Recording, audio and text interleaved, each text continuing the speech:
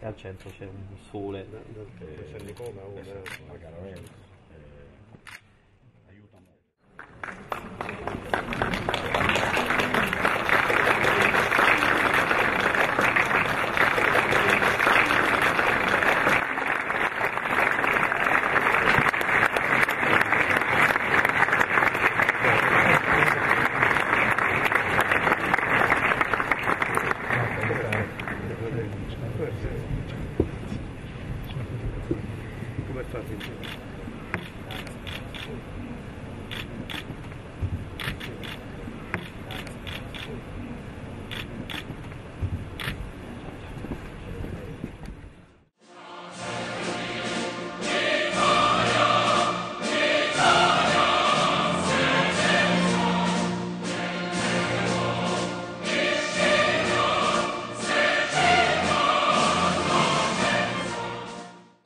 Rivolgo a tutti un saluto molto cordiale, un saluto al Ministro dell'Interno, al Presidente della Regione, al Sindaco di Bari in questa veste, al Presidente dell'Assemblea dell'Anci, al Presidente dell'Anci di questa Regione, a tutte le autorità e a tutti i presenti. Ma un saluto particolarmente cordiale è per voi, cari primi cittadini e care prime cittadine del nostro Paese.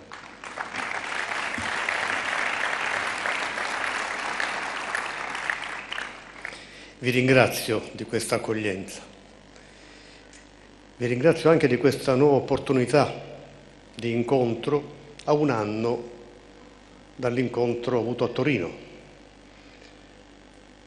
Desidero rivolgere un sincero apprezzamento a Piero Fassino per il grande impegno proficuo che ha profuso nella presidenza dell'Anci. Rivolgo un augurio di buon lavoro ad Antonio De Caro e a quanti lo affiancheranno, perché sia possibile perseguire con efficacia gli obiettivi che tutti insieme vi darete. Nel meridione del nostro Paese, in Puglia, vi sono risorse preziose promuoverle, valorizzarle, utilizzarle è una priorità per il nostro Paese. L'Italia è un destino comune e la dimensione globale in cui il nostro Paese è immerso rafforza, se possibile, ancora di più le ragioni della nostra unità. In questo giorno, a tre mesi di distanza dal tragico incidente ferroviario della tratta Andria-Corato, che è costato la vita a 23 persone, voglio ancora rivolgere un pensiero commosso ai familiari e agli amici delle vittime, ai feriti.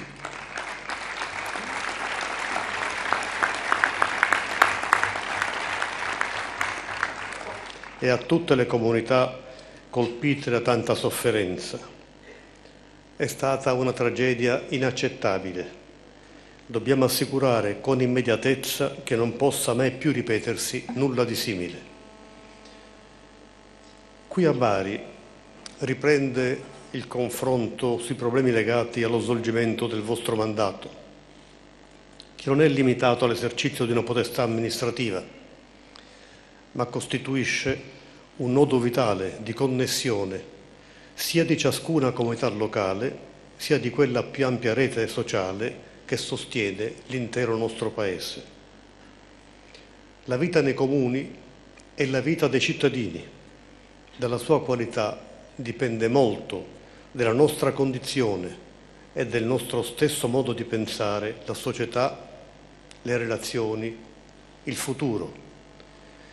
Il passaggio di epoca che stiamo vivendo richiede visione lucida, energia e grandi capacità di scelta per orientare le innovazioni necessarie a confermare i fondamenti democratici e sociali della nostra convivenza.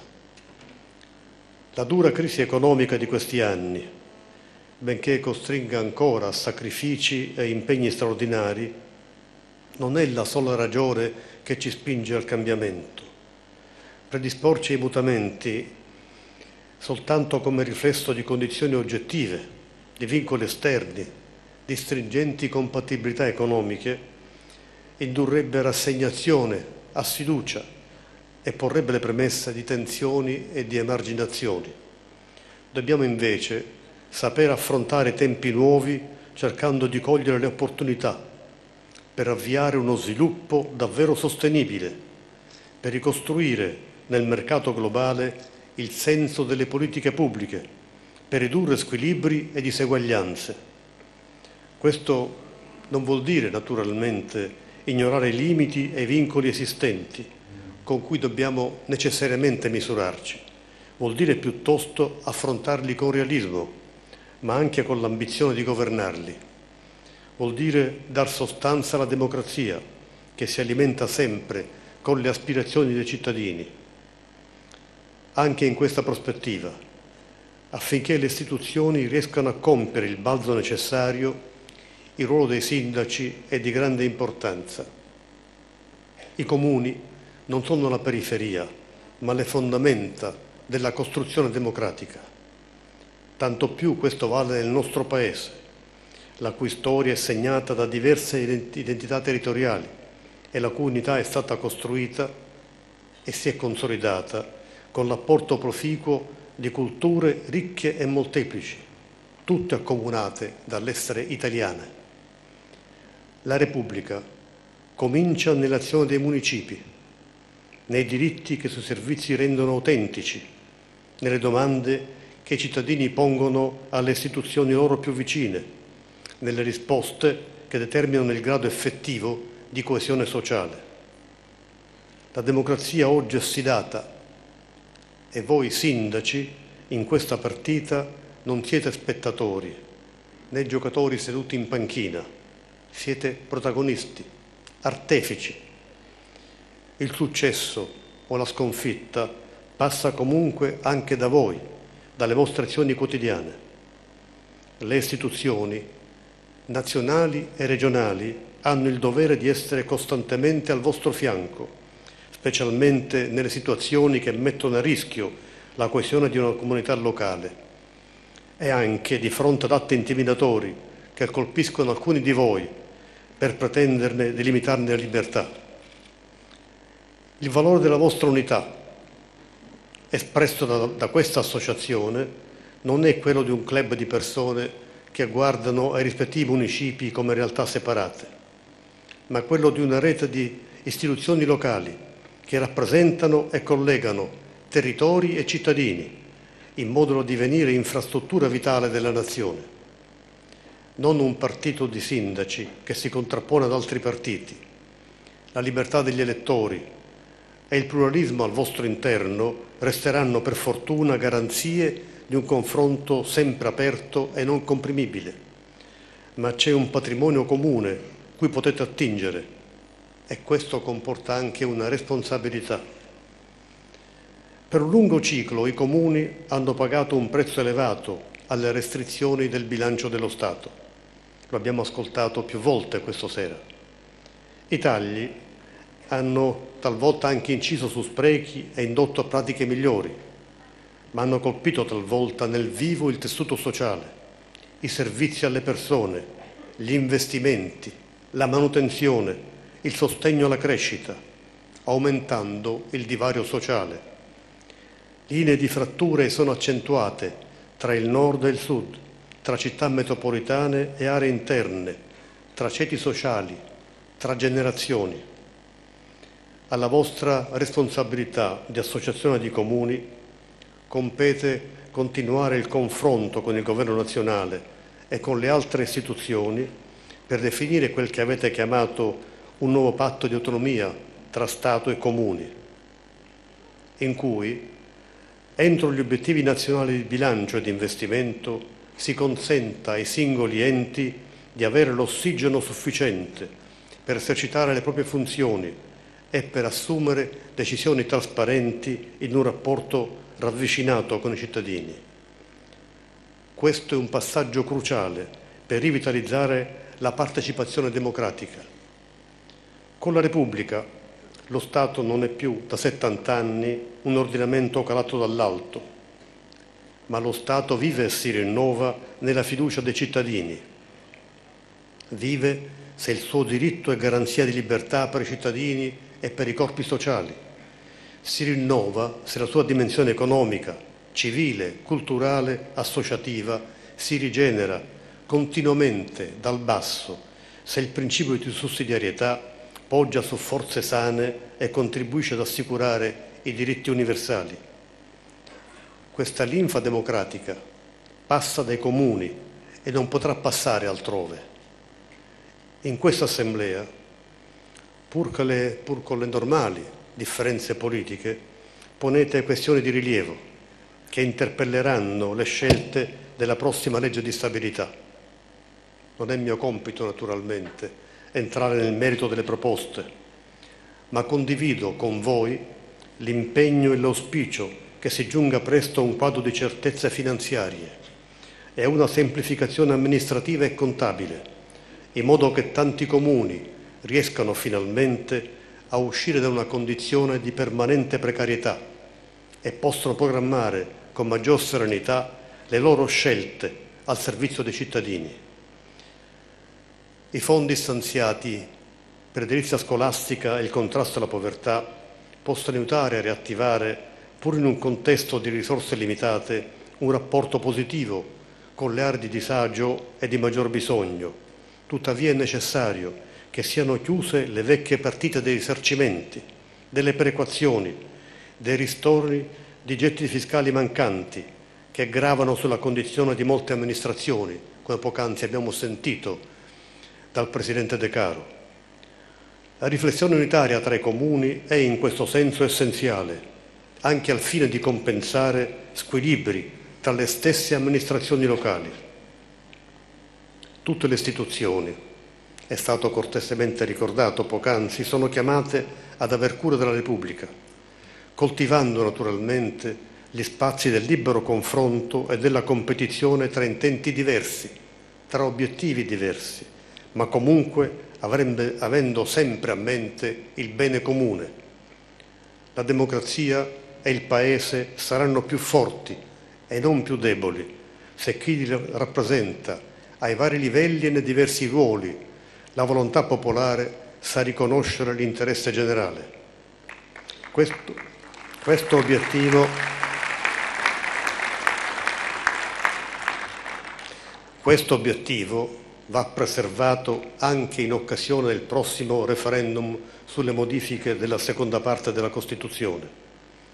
Interesse comune è la Costituzione stessa, così come sarà sancita dalla volontà del popolo sovrano. Ognuno di voi, come del resto tutti gli italiani, dirà la sua sul merito della riforma e si batterà per ciò che riterrà opportuno in un confronto tanto più efficace quanto più composto.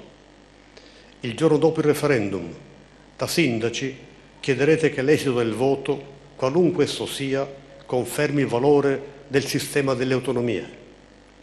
Per questo, come per ogni altro aspetto, è necessario, nell'avvicinarsi al giorno del referendum, e sarà necessario dopo il suo risultato, il contributo di tutti, sereno e vicendevolmente rispettoso rispettando anzitutto l'esercizio del voto dei cittadini e il loro libero convincimento. Confido di avere in voi gli alleati per migliorare la cooperazione tra le istituzioni democratiche e i poteri dello Stato. Poc'anzi ha detto il Presidente De Caro, se non ricordo male, l'ANCI come sindacato della coesione nazionale. E questo è un concetto che vorrei sottolineare e di cui ringrazio il Presidente De Caro. Del resto, voi sapete bene come anche la più aspra delle battaglie elettorali non attenui per nulla il dovere di voi sindaci di rappresentare, sin dall'esito dello scrutinio, tutti i vostri concittadini, di ascoltare i loro problemi e di cercare di rispondere alle loro domande. Sindaci di tutti, è scritto qui come parola riassuntiva di questo incontro. I comuni sono il terminale più esposto e più sensibile della Repubblica, perché sono i primi ad essere raggiunti dai bisogni più immediati e più urgenti. Sono i comuni la prima frontiera della solidarietà sociale, anche sui temi dell'accoglienza dei migranti e dei rifugiati. I comuni sono in prima fila, 2.200 quelli coinvolti. Lo avete sottolineato, l'abbiamo ascoltato questa sera, e avete segnalato i tanti problemi e i costi sociali di questa attiva solidarietà, che testimonia ancora una volta la cultura e l'umanità degli italiani. Il fenomeno migratorio, per le sue dimensioni inedite, sta facendo emergere forti criticità nel tessuto di molte realtà locali. I timori e le preoccupazioni dei cittadini vanno rispettati e presi sul serio.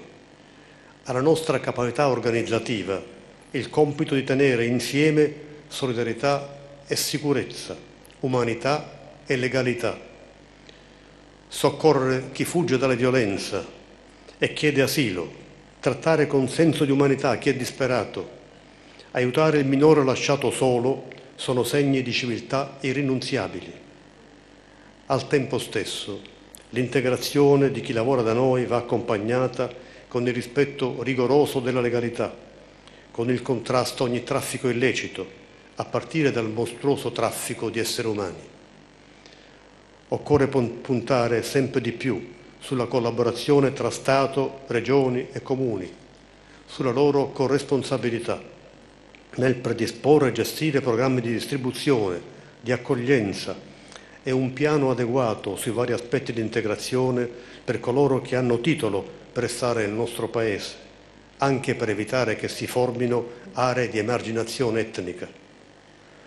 Occorre allargare la base dei comuni interessati per consentire una ripartizione più equa e sostenibile e per tutelare le comunità più piccole. Occorre Occorre continuare ad adoperarsi per far sì che l'Unione Europea non evada dalle responsabilità di solidarietà politica e dal compito storico che le appartengono su questo fronte. La solidarietà dei comuni è un telaio che sostiene l'Italia. Lo si è visto anche di recente, all'indomani del terremoto del 24 agosto, una ferita profonda che poc'anzi abbiamo rivissuto in quei minuti di filmato, una ferita ancora aperta che ha suscitato commozione ed espressioni di autentica fraternità. I comuni sono stati e sono alla testa della colonna di aiuti. Di questo vi ringrazio, come ringrazio i sindaci di Amatrice, di Accumuli, di Arquata del Tronto, che sono diventati prima le figure simbolo di una tragedia che sentivamo profondamente nostra e che oggi insieme ai sindaci degli altri comuni colpiti dal sisma, sono la bandiera del futuro dei loro territori. Non, non li lasceremo soli. Ripeto queste parole davanti a voi, perché di questa promessa voi siete parte. Lo Stato è una comunità e si sviluppa quando crea sinergia delle sue diversità, quando integra realtà, culture, interessi diversi le città metropolitane, ad esempio, nel mondo globalizzato sono sempre più centri propulsori di sviluppo. È un percorso che trova esempi significativi anche in Italia. Vanno verificate e messe rapidamente a regime le funzioni nuove delle città metropolitane disegnate con la legge del Rio, ma intanto è necessario porre a tema la loro progettualità in modo da attivare gli investimenti necessari e indirizzarli verso traguardi strategici. Al tempo stesso non può sfuggire alla nostra agenda il tema delle aree interne e dei piccoli comuni, che amministrano oltre il 50% del nostro territorio, con 10 milioni di abitanti e un patrimonio ambientale, produttivo, culturale di valore inestimabile, decisivo per tutto il nostro Paese. 3.000 comuni sono sostanzialmente disabitati, molti altri lo sono scarsamente, territori non più presidiati, aree non più coltivate o comunque non utilizzate, destinate a diventare da risorsa un problema. La legge sui piccoli comuni, appena approvata alla Camera dei Deputati, raccoglie l'esigenza di affrontare il problema del disagio insediativo. Lo Stato appare in ritirata da questi territori, dove non si produce più ricchezza e dunque dove la gente non può più vivere.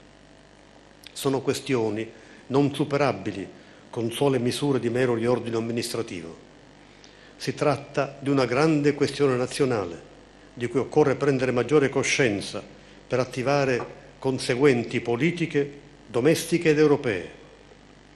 Il nostro Paese non sarebbe più lo stesso senza questi beni. Non si può consentire che le aree interne vengano impoverite da una continua caduta demografica, da carenza di servizi, da abbandono di terreni ed edifici. La strategia per le aree interne va ripresa con intensità, integrata con un piano di manutenzione e di tutela dal rischio idrogeologico, così come dal rischio sismico, di cui oggi tutti segnalano il valore prioritario. Dal dibattito della vostra Assemblea usciranno conclusioni che verranno attentamente ascoltate. Saranno certamente di grande utilità nel percorso di rinnovamento che il nostro Paese attraversa. Vi auguro giornate proficue. Avete una parte importante per il rilancio del nostro Paese. Auguri.